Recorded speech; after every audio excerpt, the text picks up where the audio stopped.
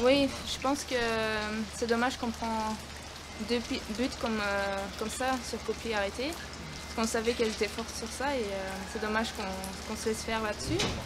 Mais après, je pense qu'on a montré du caractère des mi-temps et c'est dommage qu'on ne peut pas revenir au score.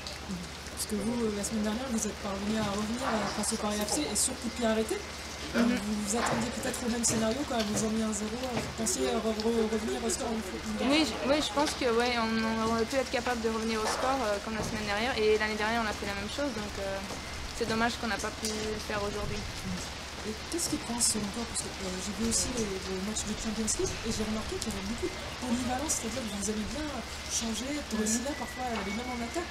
Est-ce que c'est ça qui explique peut-être votre mauvaise construction parfois la difficulté de, construire euh, Oui, je pense parfois c'est aussi la, communication que, par exemple, quand on est seul, qu'on doit le dire et qu'on peut tourner vers l'avant et jouer comme ça. Et, mais après, je pense que deuxième mi-temps, on était beaucoup mieux, on a cherché entre les lignes et euh, on a joué au foot et euh, on se sentait bien en faisant ça. Et je pense qu'on a fait un peu peur à Paris comme ça quand même. Oui, parce que dès le début, vous avez pressé.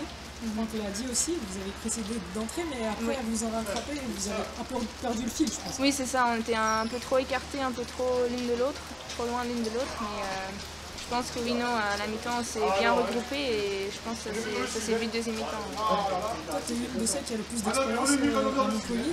Est-ce que tu essaies aussi d'apporter ça? J'ai vu que tu avais tenté une frappe à la fin. Euh, ouais, j'aurais dû plus l'enrouler, mais ouais, non, j'essaye d'emmener les plus jeunes, mais je pense qu'on a un bon groupe comme ça et que tout le monde euh, essaye de, lever euh, le niveau de l'autre. Et euh, je pense qu'on doit juste continuer comme ça et travailler dur et après on verra, on essaie de faire le mieux dans les matchs. parce que la saison dernière, vous, avez, vous étiez sur une bonne lancée, vous avez eu la deuxième place qualificative pour la Champions League. Et cette saison, est-ce que c'est pas ça qui vous perturbe un peu dans votre tête D'avoir la Champions League aussi, d'avoir les trois, on va dire Oui, on n'a on a pas. Il y en a quelques-unes qui n'ont pas l'expérience d'avoir euh, plus de matchs et euh, ça s'enchaîne là beaucoup avec euh, la Champions League et aussi les sélections de différents pays.